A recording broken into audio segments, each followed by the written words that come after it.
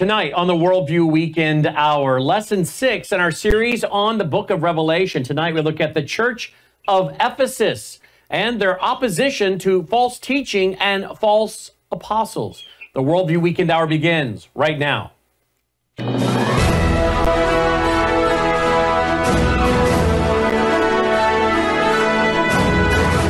WVWTV presents the Worldview Weekend Hour with Brannon Howse, Whether the topic is law, science, government, economics, history, family, social issues, education, or theology, Brannon brings the issues of today into clear focus through the lens of a biblical worldview. And now, here is your host, Brannon Howse. Good evening and welcome to the broadcast. Glad you are with us. Here we are, Sunday night, May 5th, 2024. May 5th, 2024. As we bring you our Sunday night church service that I've been teaching on Sunday nights since 2015.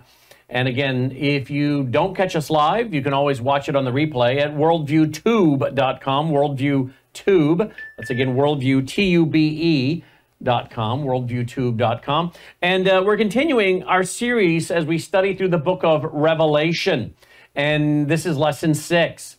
And if you are appreciating this series, we appreciate your support at wvwfoundation.com. We are also going to endeavor to have all of this transcribed and put up into onto our website as well, transcribed as part of the series, so that you can study this through a transcription as well, putting the transcript below each a lesson. So again, uh, this is all brought to you by our foundation. So if you appreciate these resources, that we make them available, we do appreciate your support at wvwfoundation.com. You'll also find our mailing address there if you prefer to support us through the mail. Thanks to all the outlets that pick up the broadcast, also our friends uh, at TV30 in Milwaukee.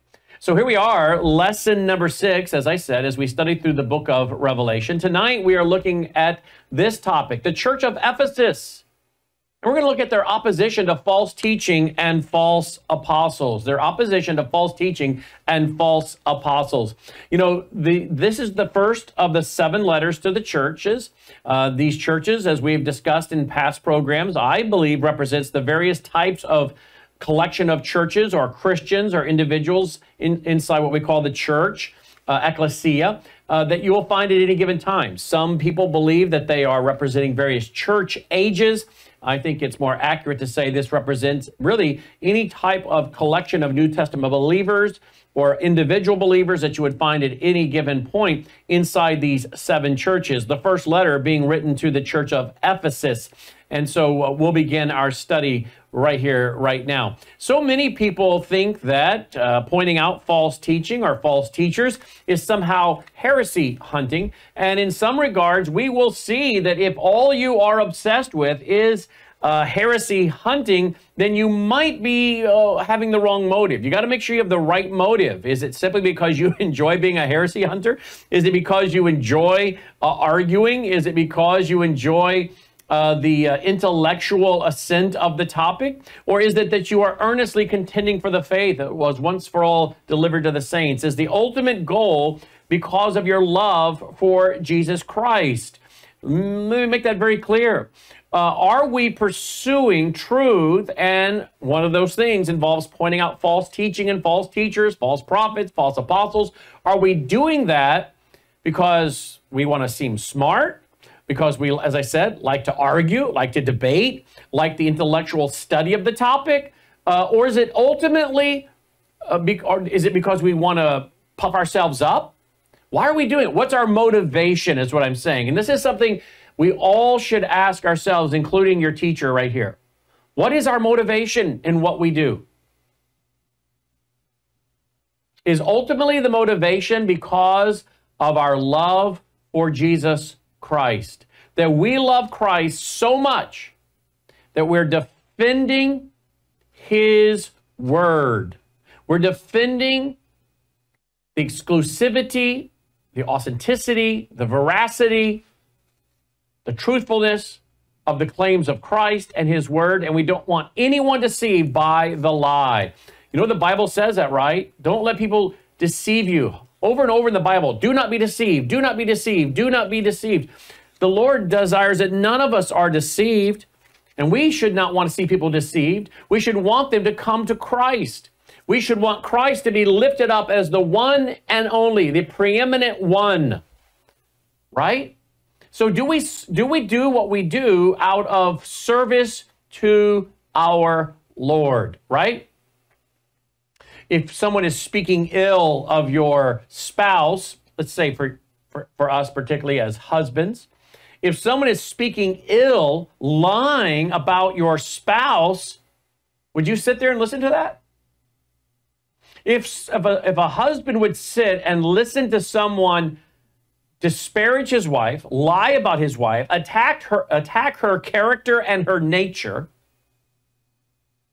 attack her very person, one that does not speak up, you would have to really question does he love his wife? Does that man really love his wife? He didn't defend her, he didn't speak up for her. So let me ask you, as Christians, as Christians, are we offended when we hear people speaking lies about our Lord? Are we offended? Do we take issue when we hear people distorting Jesus, his character, his nature? How about when we hear people presenting a false Christ, a false Messiah, saying, oh, this is what Jesus is, and it's a social justice Jesus. It's a liberal Jesus. It's a globalist Jesus. It's an open borders Jesus. It's a Jesus who is postmodern. Truth and reality really don't matter. Just your individual experience and feelings, and make Jesus out to be a postmodern Jesus. You find that offensive? A true believer absolutely finds that to be offensive, right? And a true believer would who, would speak up because of their love for Christ. You love Christ so much, you don't want to see him in any way disrespected, put down. You don't want to see people deceived. Not only do you love Christ ultimately, but you have a love for other people and you don't want them to be deceived. Whether believers and believers can be deceived, Believers can be deceived, right? You don't want to see believers deceived by bad theology or doctrine. You don't want to see unbelievers deceived and believe in a false Christ or a false Messiah. And so you do this because you love your fellow believer and you have a love and compassion for the lost. But ultimately, we do this because of the one we serve and we defend truth and we defend that which is consistent with his character and his nature, his very person, because of our love and affection and loyalty to our Lord who laid down his life for us, who loved us while we were yet sinners. While we were yet sinners, Christ died for us. And we love him so much that we want to obey him. And one of the things that he has told us to do is to what? To make disciples. And to, and to make disciples involves obviously evangelism, right? Well, if you're going to evangelize people, you have to present Christ to them, right? And you don't want them following a false Christ, a false Messiah. The Bible warns about this, particularly in the last days the rise of false Christs and false Messiahs. And you, because you love the Lord, you want to follow his commands. And one of them is to what? Go ye therefore in the world and preach the gospel and make disciples that means we must evangelize them first, share with them the good news of salvation through Christ alone. And then we teach them the things about the Lord and about the Bible and how to live the Christian life. And we do this because Christ has commanded us to do this. Because Christ desires that no one should perish, but that all should come to repentance. And it is out of our love for Christ that, we're, that we are disciples and involved in evangelism and discipleship. It is also out of our love for Christ that we defend his word. And the Bible has a lot of commands about what? Ephesians 5:11 have nothing to do with the unfruitful works of darkness, but what? Rather expose it. Expose it. The Bible tells us to be aware of the false teachers that will creep into the church. And we're called to mark them Mark those. Romans tells us, mark those who are contrary to the doctrine, the teaching of Christ, and expose them. What's the point I'm making? Oftentimes, pointing out false teaching and false teachers, particularly in today's age, is ridiculed. That these people are, are unloving, they're intolerant, they're harsh, and people can be unloving and they can be uh, harsh when doing this. And so that is the issue. It's not that we shouldn't do it. And a lot of times, again, people who don't agree with us will label us. You see, they, they don't like the message, so they attack the messenger. But if you're preaching the truth and proclaiming the truth in love, guess what? You still may be called unloving. You still may be called intolerant, harsh, judgmental, unkind, mean. Christ was the very definition of love. And yet, what was he called? He loved us so much, he laid down his life. For God so what? Loved the world. God so loved the world that he gave his only begotten Son. And Christ, being God incarnate, deity, the God man, Emmanuel, God with us, laying down his life, subjecting himself to being a little lower than the angels and laying down his life. And yet he was ridiculed, and he is the very epitome and definition of love. So, what's the point of making? Even when we are doing it with good motives, pure motives, and in love, we're still going to be called names. We're going to still be besmirched by the world and the false church and false Christians, oftentimes, and false teachers because they don't know what to do with the message other than to attack the messenger. But here's the issue let's make sure. Let's make sure that those that are watching can say, uh, you know what? I see that for what it is. I see that as an attack on that individual that's speaking truth. And they cannot refute the truth that they're presenting. They cannot refute the truth of the Bible, the truth of God's word that is being brought to bear on the false teaching and the false teachers, the false prophets and the false apostles. And this individual is doing this very much so in love and in patience and kindness and gentleness maybe with passion, maybe with deep conviction. But they cannot say this individual is doing this out of hatred or animosity or arrogance or is being unkind. So we cannot always convince the one that's being confronted of the legitimacy of our motives. And even if they know our motives are right, they still may lie about us because their arrogance will re- refuses to repent. And so they attack the message because they can't attack, they, they attack the messenger because they can't attack the message.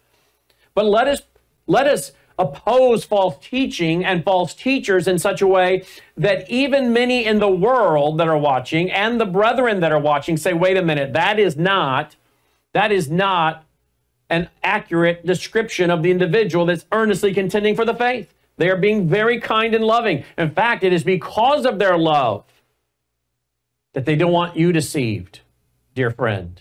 They don't want others deceived. And that is what's going on in part here in the church of Ephesus, as we shall see in our future studies, is that they indeed had orthodoxy. They had orthodoxy. They were contending for the faith. They were pointing out false teachers, false apostles, they were persevering or they were having patience with people who were caught up in this. They were also being sure to avoid people that were wicked. And there's a big difference between proclaiming truth to the wicked and then letting the wicked come inside and play church with you and have uh, a place to deceive the sheep. You don't let the wolves in to play among the sheep. And this church of Ephesus was commended by Christ, by the Lord God Himself, the risen Lord. As John the Revelator is taking down this message to be delivered to the angel of this church, Ephesus, as is the case with the six other churches. And the Lord God Himself commends them for their labor, their patience, their contending for the truth their opposition to false teaching and false teachers, he commends them for their good orthodoxy and even their good works of labor. But after he commends them, he warns them about losing their love.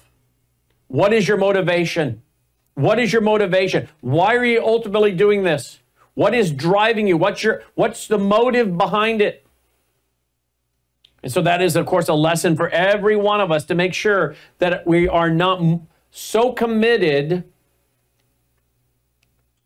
to the cause of being right and true that we lose focus of the one to whom we should be ultimately true to. In other words, some people do indeed lose focus of what is the ultimate goal. Why do we contend for the faith? Again, I go back to the questions I asked. So we can be right, so we can argue with people, because we like to argue with people. Some people, they like to argue and they become lawyers. And some people are told at a young age, you would be a great lawyer because you love to argue. You should consider going into law. And you know what? I find that in the area of Christian work, that there are those who just love to argue. Is it their love of arguing, even if they're arguing the truth, or is it their love of the truth, the person of Jesus Christ, who said, I am the way, the truth, and the life? What is their motivation? Have they lost the love for Christ in the midst of doing a good work. In other words, you can do a good work, but have the wrong motivation. And Christ, after commending their good work, then goes on to explain to them his desire for them to not lose the first love that they had, to return to their first love, to do this out of their deep commitment to not argue, arguing, not out of their love of a good fight, if you will, not out of impure motives, but do this ultimately out of your love for Christ. And I have seen this myself, and one I've had to guard against myself.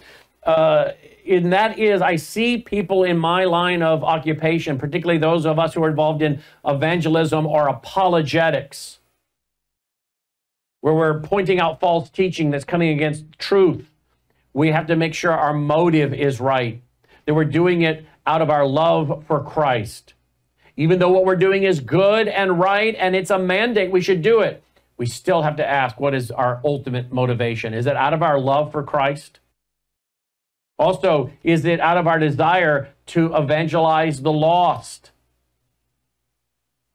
So, this is this book, this book of Revelation, chapter 2, that we enter tonight with this.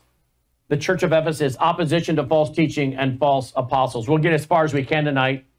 Robert L. Thomas says the prominence of this church of Ephesus is reflected in its being the possible recipient of as many as eight New Testament books the Gospel of John, Ephesians, 1st and 2nd Timothy, 1st, 2nd, and 3rd John, and Revelation. Besides, Paul was ministering in Ephesus at the time he wrote 1st Corinthians. This is a very historic city, Ephesus. John Walvoord writes there is reason to believe that the Apostle John himself, now exiled on Patmos, had succeeded Timothy as the pastor at large in Ephesus. It was to this church and to Christians living in Ephesus at the close of the first century, some 30 years after Paul, that the first of the seven messages is addressed. This is a very historic city with these fellow believers. And with this as the backdrop, let's begin. As we open our Bibles, if you have them, if not, we'll put it on the screen so you can follow along. And we find ourselves now entering chapter 2 of Revelation. Chapter 2 of this book of Revelation. And here's what we read To the angel of the church in Ephesus. Now, who is this angel? We had discussed last week that I believe that these are not angels as in a spirit angels, spirit entities, angels, like a guardian angel, that these are actually men. That word for angels in the original is one who is a messenger. And I believe that th- these are actually men. And, and God has his messenger for each church age. And sometimes when the men that are supposed to be the leaders or the pastors are not leading, God will call up his messenger. And they may not have a formal position in the local New Testament church, but God will use them to be his messenger. And I see that here now. Many, many wonderful messengers are not pastors in the sense that they are a senior pastor or pastor on a staff of a church and a New Testament fellowship, but they are just ministers, messengers, if you will, speaking forth truth. And you find them where? On the radio, Christian radio. You find them on online now. Because as so many churches sadly have ceased in preaching the complete gospel, as they have sought to go to pop psychology, as they seek to entertain, tickle ears, will not speak about things such as the book of Genesis, because we don't want to argue things that are controversial like creation versus evolution. I told you a few years ago, I've said this story once, we wanted to hold our contend conference as we've had here in the Mid South for several years that we would hold absolutely for free. And we'd bring in all these wonderful speakers to speak to high school, junior and seniors in high school, and then college students. And we would fill it up from students all around the country. We did this several years in a row, and we would make it all free. They would travel here and pay for their own hotel, but we made the conference free as a ministry of our foundation. And we bring in these speakers to explain to them the issues that they have to contend for in their day and age and how to rightfully divide the word of truth and to contend for the faith and not be taken spiritual prisoners of war or cheated by the philosophies of men that are not according to Christ. And one of the churches we wanted to rent their auditorium, their fellowship hall, and we were willing to pay. When I was going down the list of things we we're going to talk about, I mentioned we were going to talk about Islam and the threat of Islam and postmodernism and moral dilemmas and creation versus evolution. And the administrator of the church said, Well, do you have to speak on something so controversial? And I thought he meant Islam. You mean Islam? No. It wasn't Islam he was thought was so controversial. It was the topic of creation versus evolution. He thought, I'm like, you got to be kidding me. I wasn't expecting that. I would thought he was going to have an issue with us speaking about Islam. So controversial. You know, you might you might have, bring our church under attack.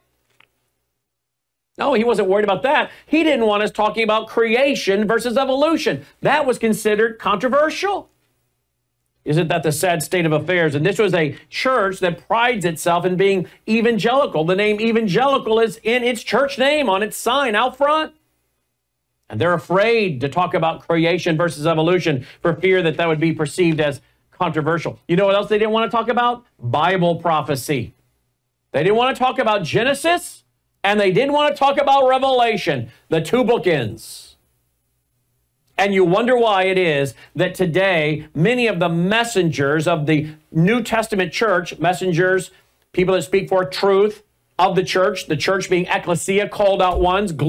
A church is not a 501c3 on some street corner somewhere. The church are, are those who have placed their faith and trust in Christ. And yes, they gather together in what are known as New Testament fellowships. But much of what we call churches today are really not churches. In fact, they may be much like we find in Laodicea. Christ is outside knocking to get in.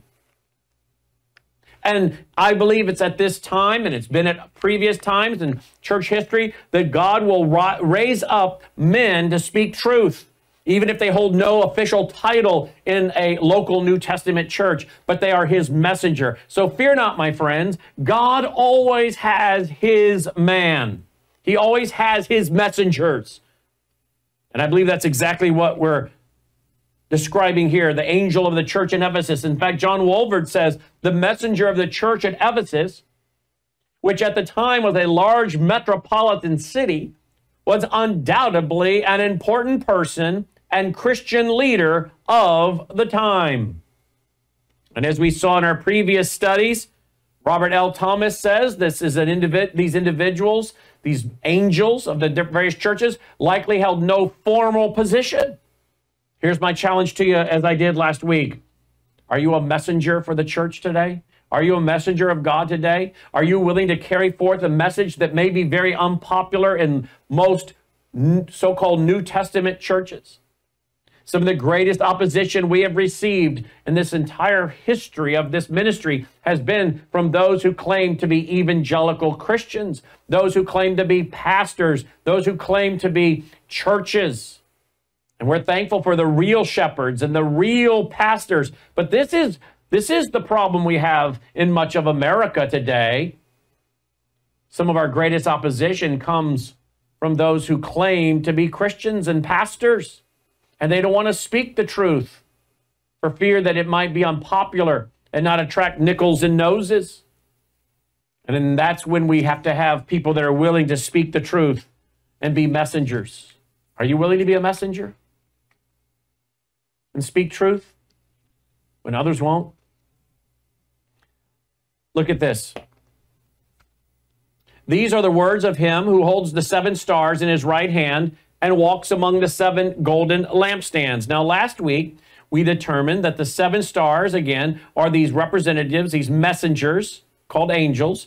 The original text means, again, messengers. These seven angels in his right hand are these seven messengers. And the seven lampstands golden lampstands are representing the church and the church age. And he says that he is moving among them, he's walking among them, he's observing. And we're hearing his observation about these seven churches in these seven letters. Tonight, looking at this letter to the church of Ephesus. And the churches are to be light. As I said last week, he said, I am the light of the world. And then he says, after he comes into the world and has proclaimed the true gospel message and the church is born, then he says, Ye are the light of the world. The church is to reflect Christ. That's what we go back to. Are we reflecting Christ? Are we claiming to represent Christ, maybe even with a good message of defending the faith and pointing out false teaching and false teachers, but we're not ultimately doing it to represent Christ. Maybe we're doing it to represent ourselves. Maybe we're doing it to represent our own arrogance or pride or intelligence. Let's pray that we're doing it the right thing for the right reasons. Because people can do the right thing for the wrong reasons. And there are those who even preach the gospel who only do it for profit. Praise the Lord, the gospel's being preached. But wouldn't it be much better to do the right thing for the right reason, the right motive, and be that light that shines forth? The light being Christ and Him shining through us as the church, represented by the lampstands. I know your deeds, says the Lord. I know your deeds, your hard work, and your perseverance. Now he's writing again to this church in Ephesus. I know your deeds. I know your hard work and your perseverance or your patience. Sometimes we have to have that perseverance or patience when dealing with people, right? Now, notice something here, something that any of us that manage people, work with people, administrate anything, and thus have to deal with people or get to deal with people. One of the things we find the Lord doing here is what? He's he's praising them up front for the good things. Now, he is going to tell them where they're falling short and where he has some concerns, no doubt about it. But the Lord starts out by commending them and their fact that he sees their deeds, their hard work. The, the text used here, the words in the original hard work, is one they literally have become physically fatigued, weary, not weary of the work, but weary in the work. Isn't that a big difference? The Bible says, don't become weary of well doing. Doesn't mean we won't become weary in well doing. Oftentimes, you're physically drained, emotionally, spiritually, physically. Even our Lord, with his human side, fully God, fully man, had to get away and recharge and have a time of solace and prayer and restoration and, real, and to be replenished again for ministry. Don't confuse becoming weary in your work for the Lord with being weary of your work for the Lord. Oftentimes, I become weary in the work that I do, but I don't become weary of the work. But the Lord God is acknowledging the fact that they are working hard, even to the point of physical and spiritual and emotional toil. It's a physical, emotional toil, and they're working hard, and they have great perseverance or patience, and He commends them for it. Look at this Hebrews 4, verse 13.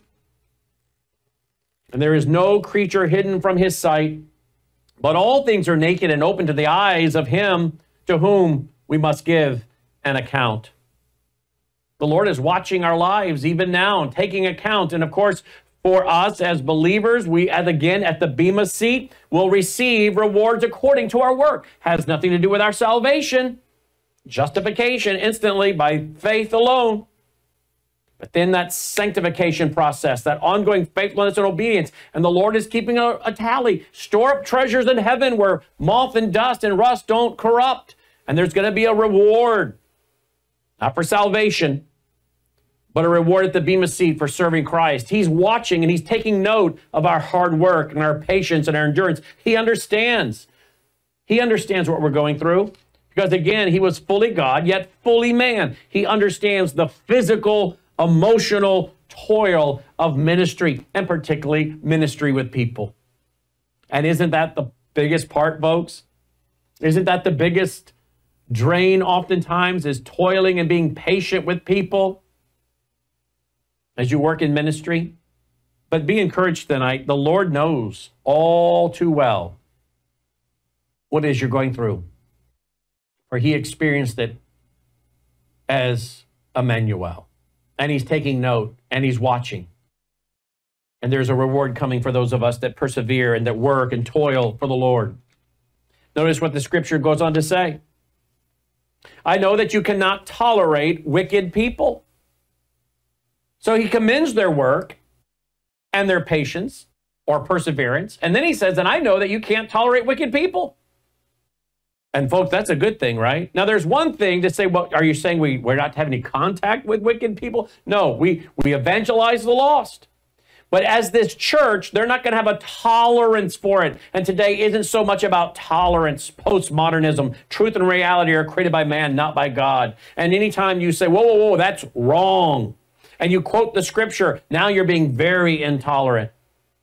Jesus said, I'm the way, the truth, and the life. No one comes unto the Father except through me. The exclusivity of Christ. That's not tolerant in today's postmodern world. And there are many things that we as Christians must not tolerate.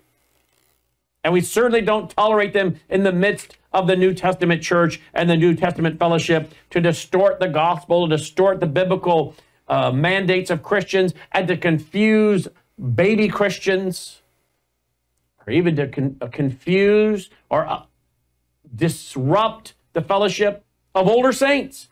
We guard the flock. We don't let people that are wicked come in. Does that mean we don't want to have contact with sinners? No, we want to evangelize the sinners. But we do not let the wolf, as I said at the beginning of the broadcast, we don't let the wolf come in and set up shop in the midst of the sheep. We keep out the wolf, the wicked. And they didn't tolerate them. And there was much wicked in Ephesus. Indeed, there was. Robert L. Thomas says this The religious life of Ephesus revolved about the worship of the Greek goddess Artemis, identified with the Roman goddess Diana. Her 425 foot long by 220 foot wide temple was one of the seven wonders of the ancient world. Besides being a religious center, the temple was a gathering place for criminals and the scene of widespread immorality. Criminals came there in droves because it provided them an asylum where they were safe after committing a crime. Prostitution thrived there because the immoral activities were looked upon as sacred and the prostitutes themselves were viewed as priestesses. Please understand what's going on here. This pagan debauchery, immorality is beyond even description in some cases, and one that I don't even want to describe here. But they even went so far as to believe that if they wanted to have a closer union with their false gods, they could be involved in sexual relations with temple prostitutes. And you want to talk about wicked. Again, some of the things going on, I don't even want to describe. But you can find the historical, extra outside of scripture, historical data that ex- describes what was going on here. And we are indeed talking about very wicked people. The apostle Paul himself in 1 Timothy chapter 6 verses 20 21 says, "Oh Timothy, Guard what's committed to your trust. Avoid the profane and the idle babblings and contradictions of what is falsely called knowledge. By professing it, some have strayed concerning the faith. We're warned against this idea that somehow we're to get involved in occultic or mystical activities to obtain hidden knowledge. We even see this invitation right away in Genesis chapter 3, where Satan says to Eve, Here, eat of this fruit, and your eyes will be open. Esotericism, hidden knowledge, so called. It is false knowledge. Esotericism. And much of pagan rituals, occultic, demonic, Luciferian activities, then and now through the ages is promising that if you engage in these things, you somehow can have a deeper understanding of hidden truths or so called knowledge.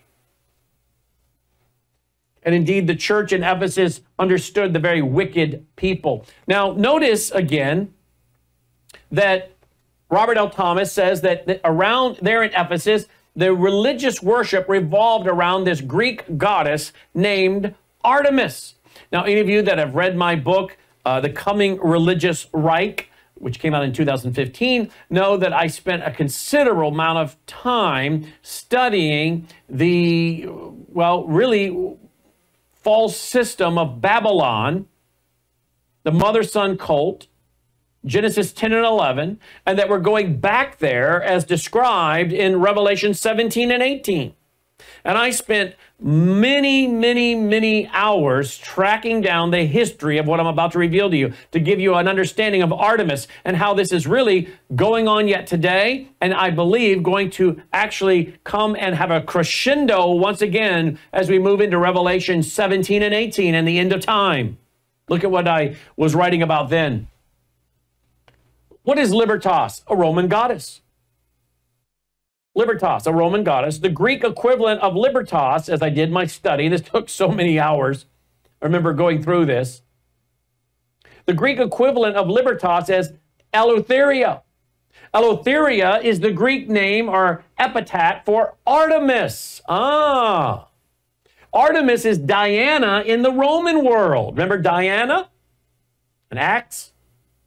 Diana is widely known to be Semiramis or the Queen of Heaven or the Queen of Babylon. This is what's going on in Ephesus the worship of Artemis, which is tied back to Diana. And you say, oh, those, these are the things of the past. Oh, no.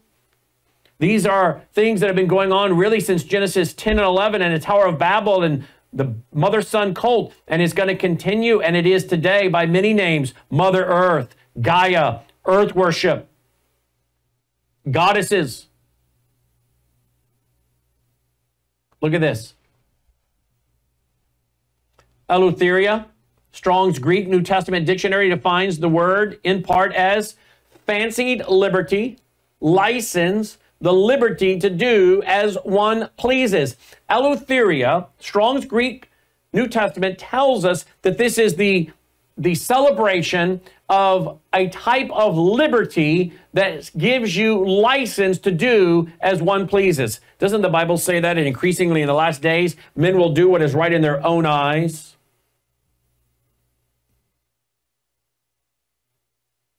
Many people think of the Statue of Liberty as being about liberty. But what kind of liberty is it? Hold on, I'll explain. There is a connection. Look at this Acts 19, verses 23 to 28. About that time, there arose a great commotion about the way. Christianity at this time, the church has just been born in the early book of Acts, and it was often known as the way. The church was called the way, probably because of that. I am the way, the truth, and the life. No one comes to the Father except through me. And so the church or Christians were often known as following the way. And here's that text. About that time, there arose a great commotion about the way. For a certain man named Demetrius, a silversmith who made silver shrines of Diana, brought no small profit to the craftsmen he called them together with the workers of similar occupation and said, Men, you know that we have our prosperity by this trade. Moreover, you see and hear that not only at Ephesus, but throughout almost all of Asia, this Paul has persuaded and turned away many people, saying that gods made with hands are no gods at all. Paul's hurting their business, their profit, their bottom line, their trade, their commerce. What are we going to do? So, not only is this trade of ours in danger of falling into disrepute, but also the temple of the great goddess Diana may be despised and her magnificence destroyed, whom all Asia and the world worship. Now, when they heard this, they were full of wrath and cried out, saying, Great is Diana of Ephesus. So, again, you say, What's the connection? Diana, Artemis, Diana, Semiramis, different names part of the Babylonian system coming out of Genesis 10 and 11, being passed down through time, depending on we're talking about Romans or the Greek, various names, same mother son cult, and it's coming back again in Revelation 17 and 18. And I think that's going to be a literal Babylonian system 58 miles south of Baghdad as we find a Eurocentric world government based upon the Babylonian religious system.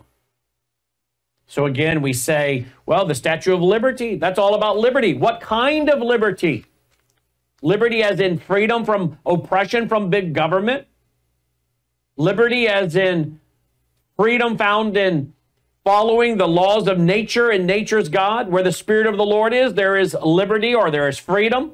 Are we following the character and nature of God as it's supposed to be with our constitutional republic here in America? What the divine is ruled on, we don't rule against. And when you uh, follow the way of the Lord, there's great prosperity and abundance and liberty. Liberty for the family, liberty for carrying out the biblical mandates of a marriage and children and family. There's liberty for the church to preach, to teach, to proclaim. There's liberty for those who make up the, a family or New Testament believers who are in our church. There's liberty for them in their business and their private property to use their money to provide and be a blessing for others, provide for their family, be a blessing to others, to preach the gospel. There's great liberty when we follow the template for family government and church government and civil government. After all, civil government being what? Individuals coming together collectively to defend individual rights. There's great liberty. We all love liberty that understand it. We love liberty. And the many come to America at one time they did wanting liberty. But what kind of liberty do people seek today? Much of what they seek today is the liberty that is to do whatever they want to do, whatever they say is right, despite what God says, in contrast to what God says. They hate what God says. They want to be liberated from any confines of the character nature of God. And many want to destroy our constitutional republic because they do not want the limits that have been imposed upon our nation historically, legally, in past times by a constitutional republic based on the character and nature of God, thus saith the Lord.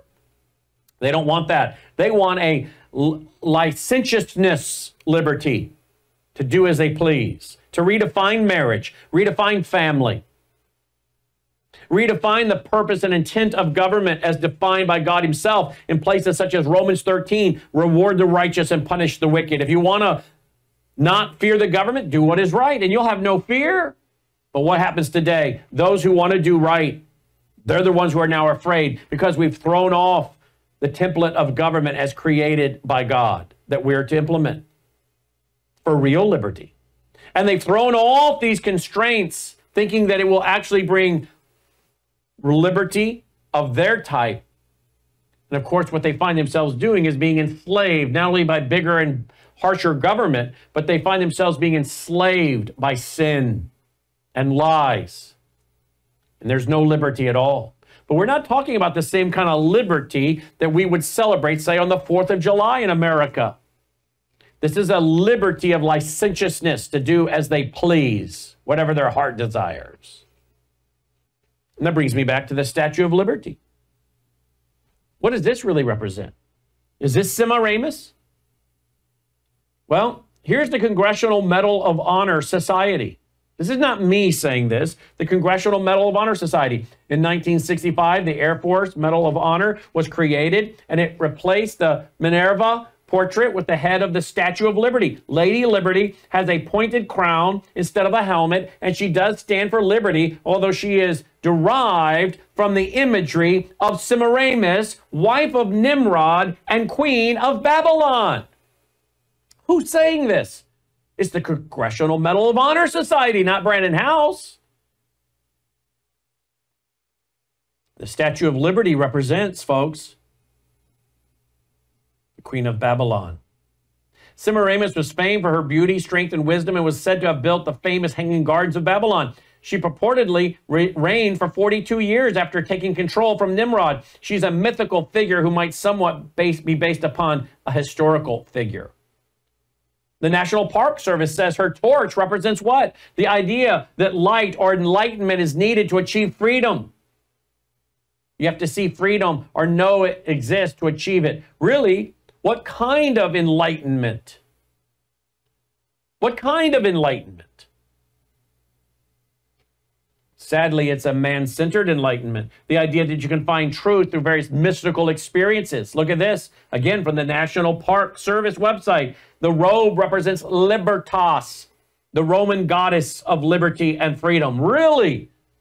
Libertas. Here's a Roman coin known as a denarius. Looks like the Statue of Liberty, does it not? This is not new in time.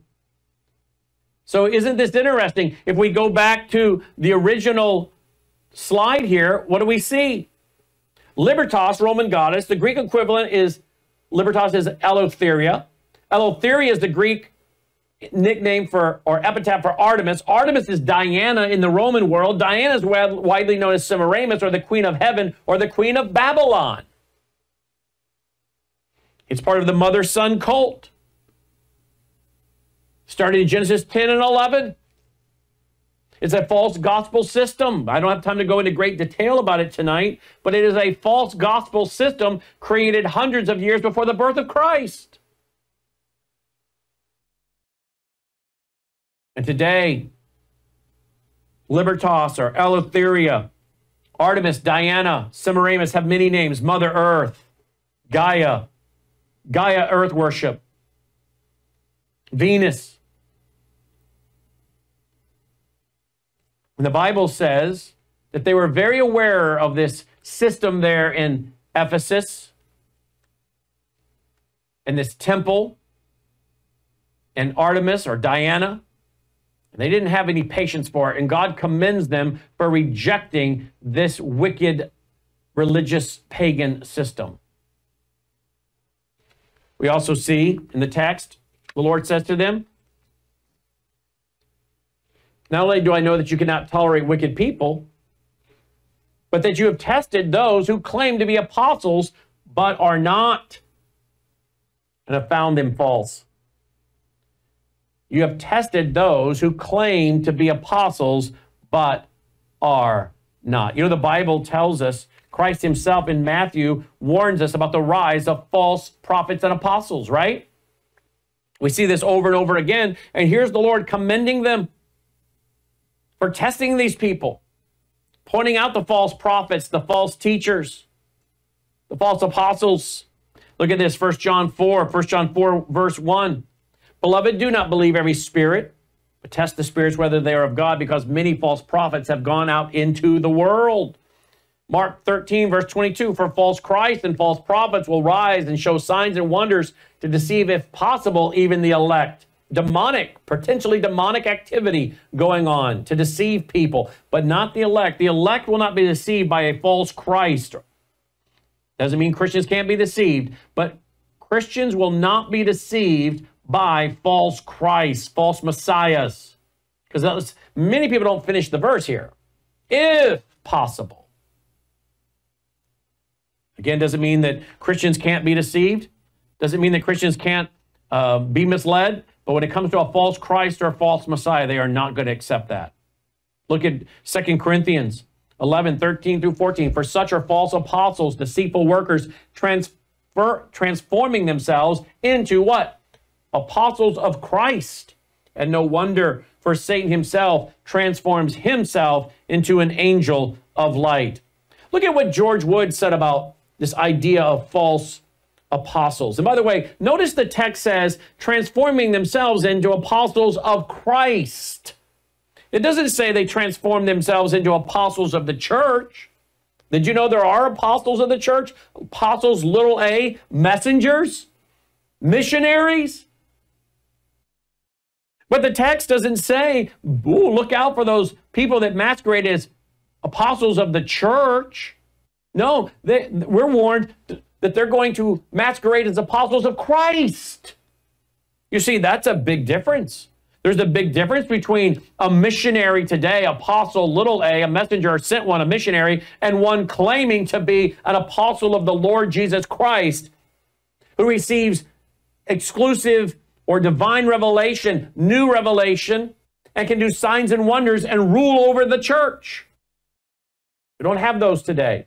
You say, wait, wait a minute, Brannon. You, of course, you're going to say that. You're you're not from the uh, maybe Pentecostal, or you're not from the Charismatic, or you're from you're not from the New Apostolic Reformation crowd. So of course you're going to say that. Well, let me go to the former superintendent of the Assemblies of God, because he's warning.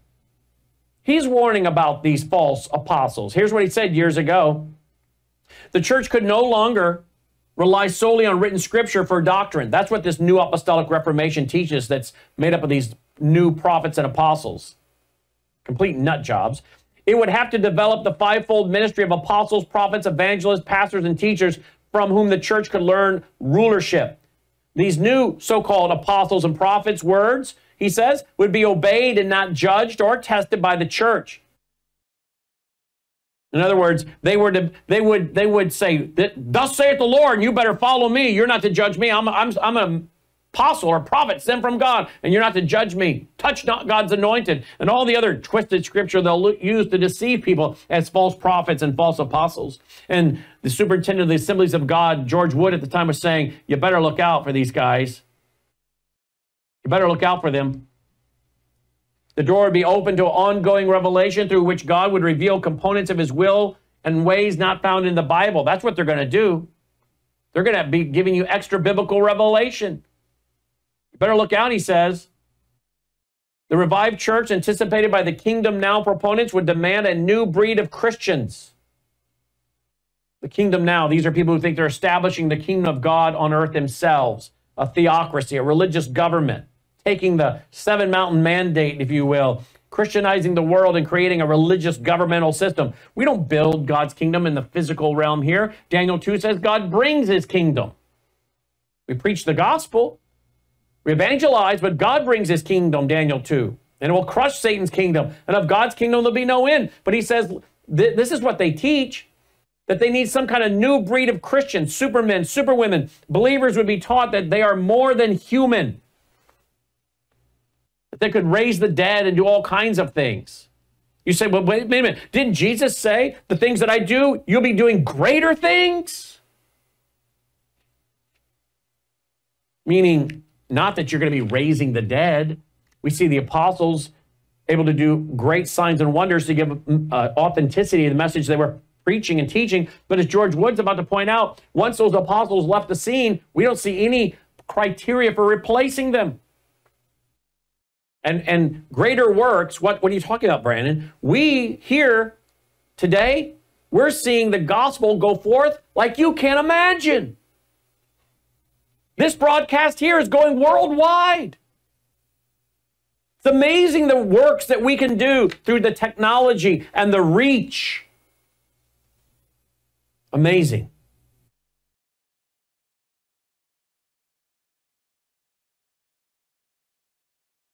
Some kingdom now adherents go beyond being little gods to holding to the possibility that we are the manifested sons of God. The race of Christians whose bodies will be transformed not only by coming of the Lord, but by his inner secret coming from within themselves. In other words, they teach that Christ will secretly come to a small group of people. They will be empowered to rule over everybody else, to get all this extra biblical revelation, to do all these signs and wonders, and they will claim it'll be a secret indwelling, and they will be sinless that these new superhuman Christians, so called, will be sinless and do all these things. And the superintendent of the assemblies of God is saying, You better look out for these people. You better look out for these people. He goes on to say, on August 6, 2001 report released by the General Presbytery of the Assemblies of God. Quote, it is clear, also clear, that while the apostles with the elders were established leaders in the early church, there was no provision for their replacement or continuation. Here's the Assemblies of God. Why am I quoting them? So that you can't say, oh, this is just you, Brandon. You're not a charismatic, so you don't. Well, look, here's the Assemblies of God in 2001 saying, folks, there is no continuation for these prophets or apostles. Once they went off the scene, we don't see it. We see deacons, we see elders, we see missionaries, we see evangelists, we don't see prophets and apostles. So you better look out. No wonder Christ says, Look out for those who claim to be apostles of the church. The Assemblies of God goes on to warn in 2001. It is instructive, however, that nowhere in the New Testament after the replacement of Judas is any attention given to a so called apostolic succession. No attempt was made to replace James, son of Zebedee, John's brother, executed by Herod, Acts 12, verse 2. Other than the original appointments by Christ himself, there is nothing, nothing concerning the appointments of apostles. And apart from the criteria set for the selection of Matthias, in Acts 1, verses 21 to 26, and the criteria implied in the actions of Jesus and the account of Paul in 1 Corinthians 15, verses 3 through 11, there are no directions for making such an appointment. By contrast, there are clear qualifications and instructions for the appointment of elders, overseers, and deacons. We see that in 1 Timothy 3, 1 through 13, and Titus 1, 5 through 9. But we, we don't see anything for apostles. The Assemblies of God says it seems strange that apostles of Jesus Christ, concerned about faithful preservation of their message, would provide for the appointment of overseers or slash elders while ignoring their own succession if if such were indeed to be maintained. In fact, there are certain exegetical hints the apostles of Jesus Christ are not to have successors. And we come back next week we're going to see that there in the scriptures are three kinds of apostles apostles of the Lord Jesus Christ, there were 12 of those. Apostles of the church, we have those today, little a, messengers or sent ones, missionaries, if you will. And then we have false apostles. And isn't it interesting that we're warned in the scripture to be aware of those who are claiming to be apostles of the Lord Jesus Christ? Why don't they claim to be apostles of the church? Because they want to steal the authority that they think they can achieve through their lies by claiming they are apostles of the Lord Jesus Christ. But we're warned in the scripture to look out for those who masquerade as apostles of Christ. Now, again, we have looked tonight with the very fact, and we'll see, by the way, what it took to be an apostle of Christ and why we don't have those today. But what we need to understand in closing tonight is that Christ is commending Christ is commending the church of Ephesus for not tolerating the wicked. He's, he's commending them for their hard work and their toil and their patience. He's commending them for testing those who claim to be apostles and they're not. They're claim, they claim to be apostles and they are not. Clearly, we are called to point out false teaching and false teachers, false Christ, false messiahs, false prophets, false apostles. And we'll continue this study. Next week, I guess, is Mother's Day. So we'll take off for Mother's Day and come back, Lord willing, the next week and look at what it took to be an apostle so we can know that they're not for today. One of them is you had to see the risen Lord. No one, see, whom we have not seen, yet we love. But sure, there are there are elders, overseers, evangelists, deacons.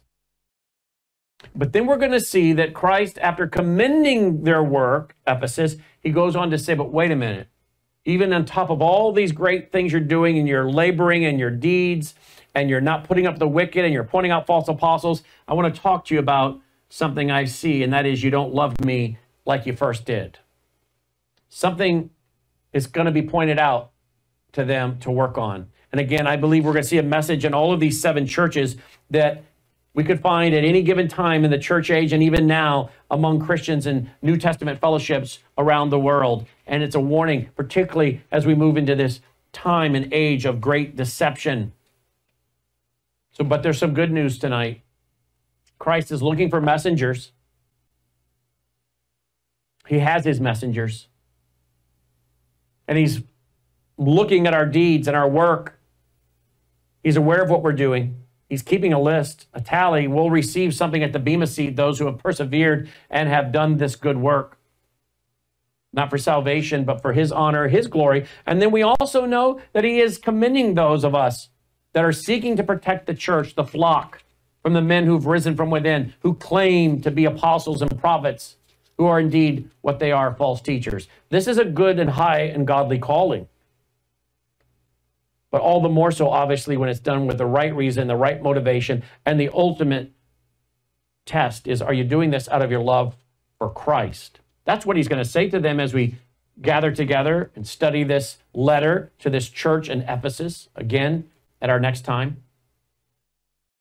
If you appreciate this broadcast, we appreciate your support. You can do that simply by going to wvwfoundation.com, wvwfoundation.com. And again, uh, after we go off the air, we'll put this up at worldviewtube.com, worldviewtube.com for you to share with your family and friends or to watch it again. Again, we'll take off next week, uh, but uh, because of Mother's Day. But here we are on Sunday, May 5th, 2024. And it's been a great lesson number six. We look forward to lesson number seven the following two, two weeks from now, Lord willing, as we continue with lesson seven. Till next time at Brannon Howse, thank you so much for watching. Take care.